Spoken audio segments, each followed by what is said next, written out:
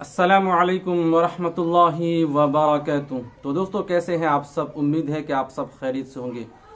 दोस्तों, आज इस वीडियो में मैं आपको बताने वाला ये हूँ कि अगर आपको यूई से अपने कंट्री इंडिया पाकिस्तान और बांग्लादेश नेपाल कोई भी कंट्री अगर आप आए हैं तो अगर आपको सिक्स मंथ से ज़्यादा हो चुका है अकॉर्डिंग टू यूई लॉ तो आपका visa six month out of UAE अगर रहते हैं अकॉर्डिंग टू यूई लॉ आपका वीज़ा कैंसिल हो जाता है ऑटोमेटिकली कोई भी वीज़ा हो, आपका वीज़ा कैंसिल हो जाता है, उसके बाद आप उस वीज़े पे ट्रेवल नहीं कर सकते हैं।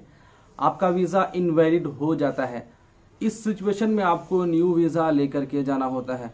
तो फ़िलहाल जो कोविड का सिचुएशन चल रहा है, इसमें टाइम टाइम पे यूई गवर्नमेंट का रूल दिन ब दिन आज कुछ और है तो कल कुछ और हो जाता है।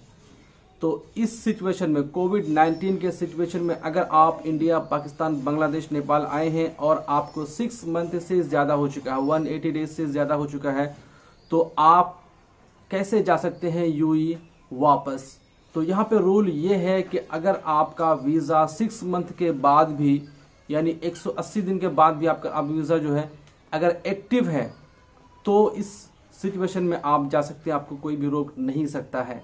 नंबर वन, आपका वीज़ा एक्टिव होना चाहिए और आपके पास आईसीए का अप्रूवल होनी चाहिए, टिकट इंटरनेशनल होनी चाहिए और जो पीसीआर है, कोविड 19 का पीसीआर टेस्ट आपको होना चाहिए। और एक जो न्यू रूल इसमें ऐड हुआ है, वो ये है कि कोविड 19 का वैक्सीन आपको लिया हुआ होना चाहिए दो डोज।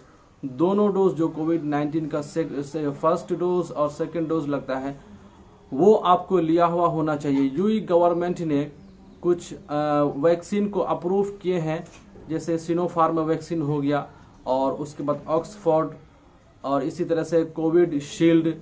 तो ये तीन चार वैक्सीन है जिसको यूई गवर्नमेंट ने अप्रूव दिया है तो ये वैक्सीन आप लगवा करके आप जा सकते हैं।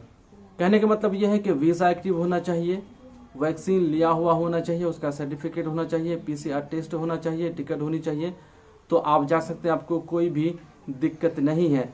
जब आपका वीज़ा एक्सपायर हो जाएगा या फिर कैंसिल शो करेगा और कैंसिलेशन का डेट आपको शो करेगा, जब आईसीए के वेबसाइट पे या फिर जीडीआरएफ के वेबसाइट पे आप अपना वीज़ा चेक करेंगे तो वीज़ा एक्सपायर और कैंसिल या कैंसिलेशन का डेट जब शो करेगा, उस वक्त आप नहीं जा सकते हैं, उस सिचुएशन में आपको न्यू वीज़ा लेकर के जाना होगा।